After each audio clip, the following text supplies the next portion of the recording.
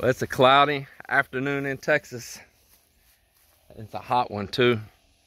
Yeah. It's in the afternoon right now. I didn't get up early and hit the hayfield because I thought we were evicting some people out of property. And a constable called me and said he is heading down there this morning to serve them notice. And then uh, see how they react. And then if they're not out by the following morning, we would be forcefully removing them. The constable would, and I had to secure the property and drag all their stuff out. Well, we planned for all that and we wanted to be down there and see if they react in a crazy way because this guy's pretty crazy that they're working on kicking out. Law enforcement's done had run-ins with him.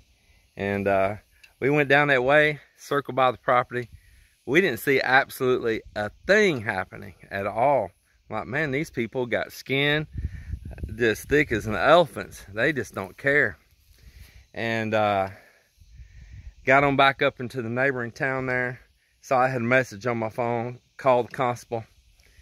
He said, man, that lady done contacted him, that she uh, is now positive with COVID-19 and by healthcare protocols with the health department, they can't kick her out for another two weeks.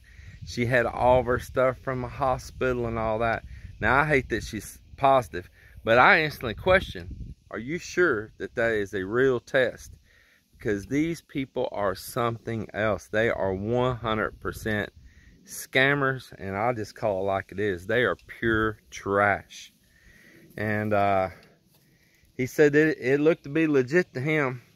And I hate that the lady has that no matter what my, my beef is with her and uh, she's done been uh, treated for it and all and been released. But it's so funny. She's been there at the property, squatting on it for five or six months, maybe seven months now. I guess seven months now. And now right at the time to kick her out, that we can finally put her out, she's COVID positive. So she's got another stay for two more weeks there for free and tearing my property up. Because let me tell you, they're tearing it up. Well, there's nothing I could do but come home and uh, get busy doing something else because my hands are tied. They're absolutely tied. And that's the way the constable feels too. The government has turned all of us property owners, landlords into a social welfare program. And uh, so don't thank the government for your free housing out there. Thank us that are having to pay our taxes and insurance, property tax on those places, insurance, the massive repairs and destructions going on to the property because the people don't give a darn. And uh, the government's not paying for that. We are. So thank us. Don't thank the government. Well, anyway, aside of that, all I can do is keep on trucking. And right now, I got to unhook a hay cutter and get a hay baler on. And I asked somebody to help me get this pain in the butt hay cutter off the tractor. Yeah, because this thing is a pain to deal with. So guess who's here? It's going to help me. it's Cap. Yeah. Prodigal son returns. Cap's been down here with us for what, about a week now? Yeah. Yeah, yeah. about a week now.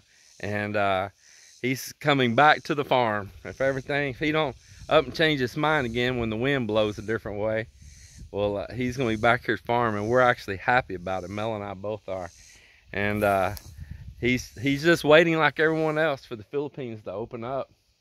And whenever it opens up, he's gonna be uh, kicking his can over that way. Is what he's planning, at least at the moment, yeah. right now. Yeah, at the moment. But um, we're making accommodation for him here and all because we enjoy him around the company, and he said he's enjoying to have company.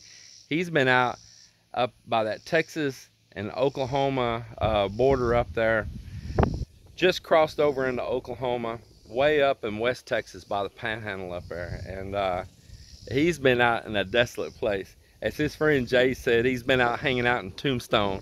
And I told Jay, yeah, and now he's done got out of Dodge. so uh, looks like a storm's about to blow up on us.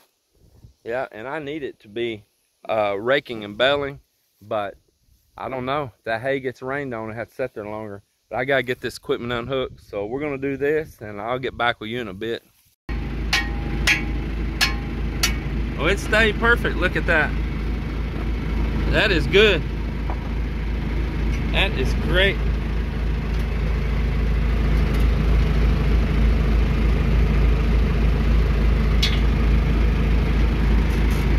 Here, I'll show you how to, you know how to do that? It's got that arm, you rock it. Yeah, it's got a lever right there and you just push that and it'll release it. Let's see if I'm the right way on it is. See, it just released it right out of there. Yeah, you can lock it and release it and then this one has cover, just rocks back over it right there. Man, that is the easiest. I've got that off. That crate underneath it helped.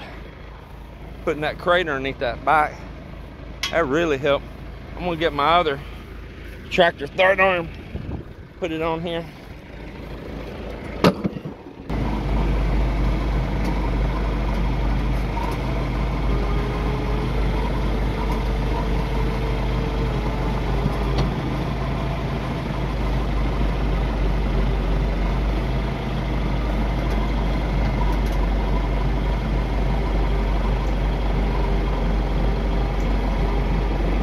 All right.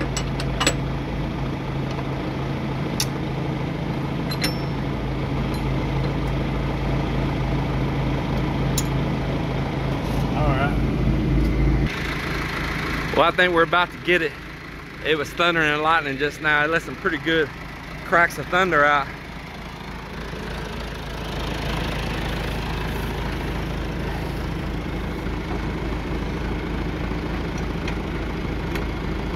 There you go, Cap. I'll get up there and help out on that.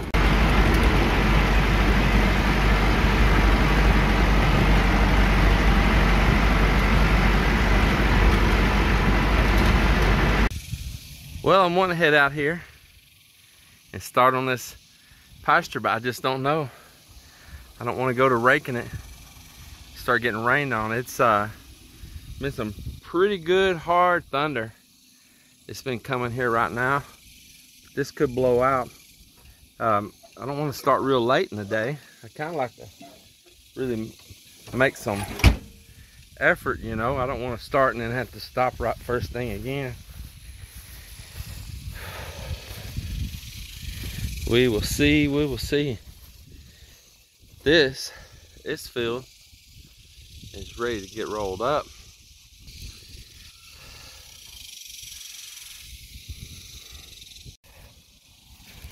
Some good looking grass right here. It's really looking good.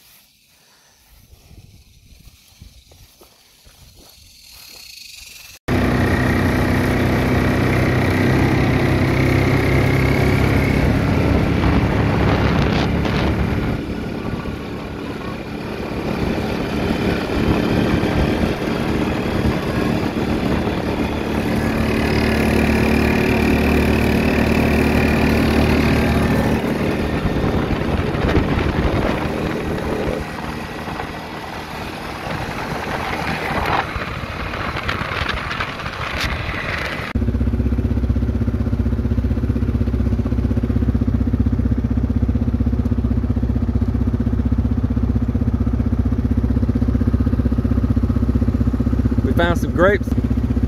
Grapes are sweet. Nice. Yeah, like inside the 200 degrees, the sweet is inside. Mm-hmm.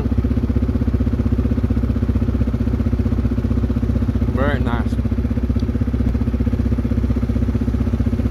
Get the big one. Of course, we didn't clean them, so we're probably getting a little bird fertilizer in our mouth. mm.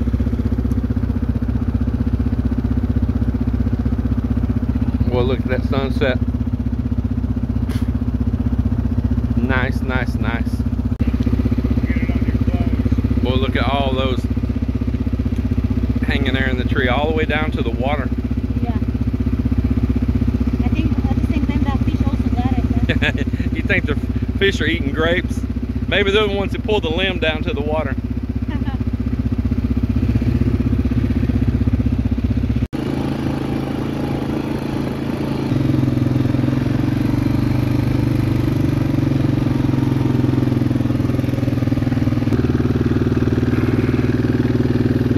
That's the trap right there that usually used for bobcat. That's Bob, bobcat get real bad down in here. We've had them actually take out calves. Yeah, we're over here to get this smaller live trap. Try to catch a skunk at our house. Yeah, we got a couple of these. This is the newer one. Have to clean it up, that grass. It, actually, that grass will help it a little bit, maybe. You want to put it right here and I can try to hang on to it? Yeah, Grass will blow I don't have anything tight unless we can find some wire up here in the field somewhere. Yeah.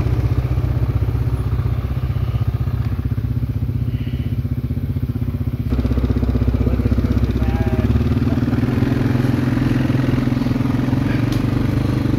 bag. Yeah, she found some wire right there on the hog trap. There you go.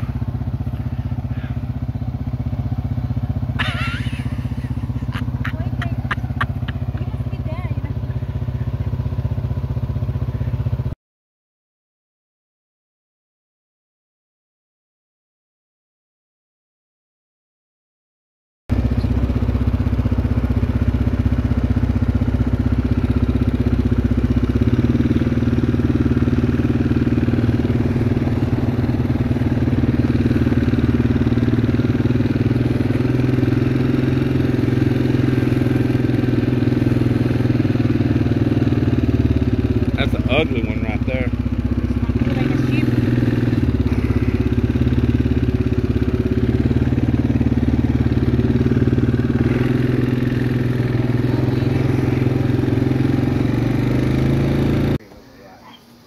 What happened to you? Huh? What happened to you? Well, I guess some someone Revenged you, right? Yeah, me. Yeah, I wonder why. I wonder why I would be getting revenge. You see what it is? Trying to drive, and you got a sneaky little person behind you, covering your face in Oh, mud. you're the one who got me first. She had it in my eyes. Well, I couldn't believe it. I said, you're gonna try to kill us while I'm driving?" You my hair here? it's all over you. Yeah, it's all What, what happened to your legs, Mel? That is so beautiful. I know. I know it's beautiful. It's the only way I could revenge her when I was driving was get her legs.